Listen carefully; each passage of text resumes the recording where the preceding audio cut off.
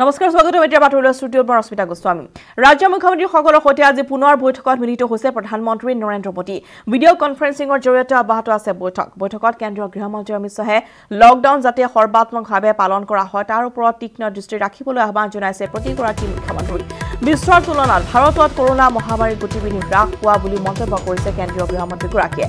সাম্প্ৰতিক পৰিস্থিতিৰ প্ৰতি লক্ষ্য ৰাখি ইতিমধ্যে দেশৰ কিছুমান উদ্যোগ আৰু বাণিজ্যিক প্ৰতিষ্ঠান পুনৰ খোলাৰ নিৰ্দেশ দিয়া হৈছে বুলিও উল্লেখ কৰা হৈছে বৈঠকত। বৈঠকত লকডাউনৰ সময়সীমা বৃদ্ধি কৰা নকৰাক লৈও আলোচনা কৰা হয়।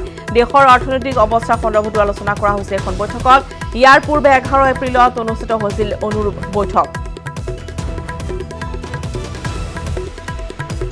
ৰাজ্য মুখ্যমন্ত্ৰীসকলৰ সৈতে আজি পুনৰ বৈঠকত মিলিত হয় প্ৰধানমন্ত্ৰী নৰেন্দ্ৰ মোদী ভিডিঅ' কনফাৰেন্সিঙৰ জৰিয়তে অব্যাহত বৈঠক। বৈঠকত ইতিমধ্যে আমি জনাইছোঁ যে কেন্দ্ৰীয় গৃহমন্ত্ৰী অমিত শ্বাহে লকডাউন যাতে সৰ্বাত্মকভাৱে পালন কৰা হয় তাৰ ওপৰত তীক্ষ্ণ দৃষ্টি ৰাখিবলৈ আহ্বান জনাইছে প্ৰতিগৰাকী মুখ্যমন্ত্ৰীকে। আৰু বিশ্বৰ তুলনাত বৰ্তমান ভাৰতত কৰোণা মহামাৰীৰ গতিবিধি কিছু হ্ৰাস হোৱা বুলি তেওঁ মন্তব্য আগবঢ়াইছে।